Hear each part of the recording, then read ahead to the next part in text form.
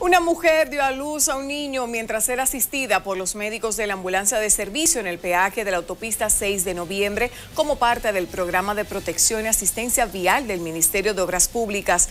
La señora fue identificada como Francisca Jaques Encarnación, de 28 años de edad, residente en Quitasueño de Caina. Ella era trasladada por sus familiares a un centro de salud para dar a luz, pero al presentarse la emergencia en la carretera se detuvieron en el peaje donde se encuentra la grúa, taller y gomero móviles y así como una ambulancia para los casos de asistencia vial que se presenten en la autopista. Los médicos asistentes fueron el doctor José Piña y otros.